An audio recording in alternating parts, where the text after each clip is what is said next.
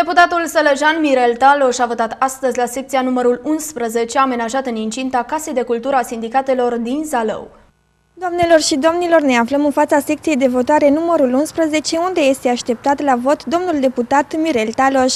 Potrivit reprezentanților secției de votare, la această secție sunt așteptați peste 1800 de alegători. Deputatul Sălăjan Mirel Taloș a votat astăzi cu puțin timp înaintea orei 8 la secția numărul 11.